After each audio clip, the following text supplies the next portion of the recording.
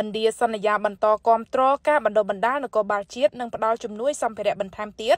ដល់ក្រសួងមហាផ្ទៃកម្ពុជា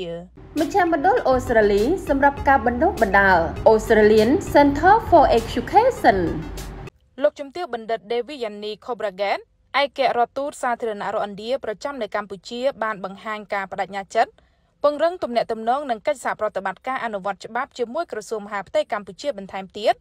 តាមរយៈការបន្តផ្តល់វគ្គបណ្ដុះបណ្ដាលនិងជំនួយសម្ភារៈផ្សេងៗដល់មន្ត្រីនគរបាលជាតិកម្ពុជា។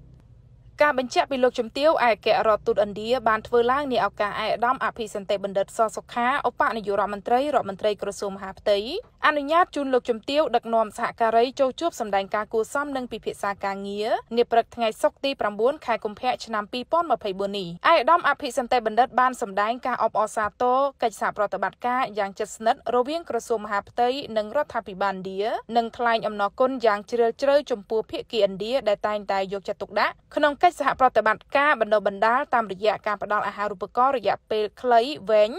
ទៅសិក្សាជំនាញផ្សេងផ្សេងនៅប្រទេសឥណ្ឌាជូនមន្ត្រីនគរបាលកម្ពុជាលោកជំទាវបណ្ឌិតក៏បានអបអរសាទរជូនឯកឧត្តមអភិសន្តិបណ្ឌិតដែលត្រូវបានតែងតាំងជាឧបនាយករដ្ឋមន្ត្រីរដ្ឋមន្ត្រីក្រសួងមហាផ្ទៃ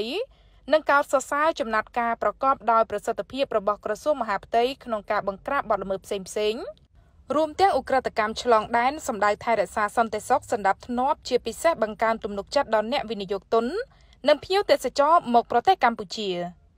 មជ្ឈមណ្ឌលអូស្ត្រាលីសម្រាប់ការបណ្ដុះបណ្ដាល Australian Center for Education